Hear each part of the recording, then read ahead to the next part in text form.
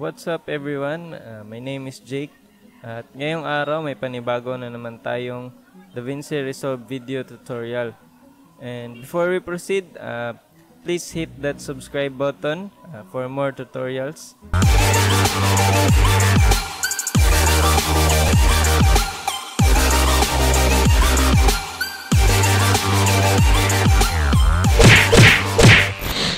In our previous lesson, we learned the basic knowledge in editing a video.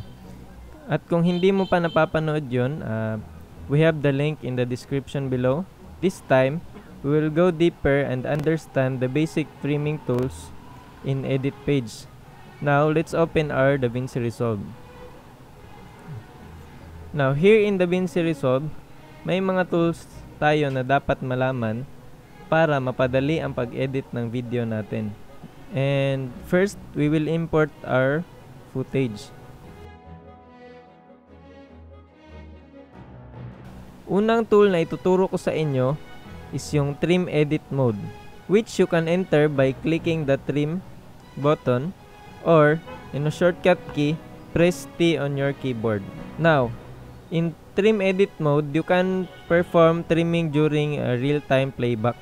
Kagaya ng gagawin ko, kapag pinesto mo yung trim mo sa thumbnail ng footage mo, when you drag it side to side, ito yung tinatawag na real-time playback which you can see the full clip by dragging side to side. Pangalawa is yung dynamic trim mode.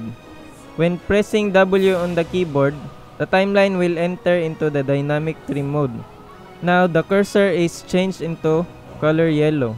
Here's where it starts to get a bit confusing but tandaan natin na dynamic trim mode are the same buttons as the normal edit mode but a different functionalities when you are in dynamic trimming mode.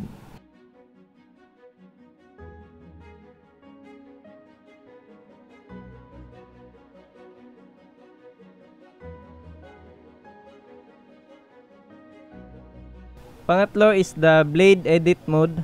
By pressing B on your keyboard, you can select the blade edit mode. Here in blade edit mode, it simply cut your footage wherever you want to cut.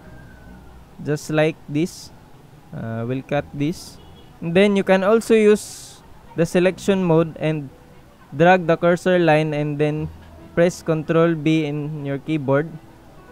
And then the clip will automatically cut your footage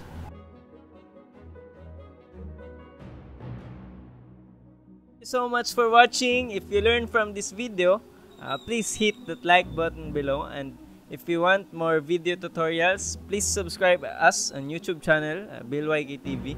And for the gamers dyan, uh, we have a new page. Please visit and like our page, Gamer Hacks. And dito mo makikita yung mga live streams namin.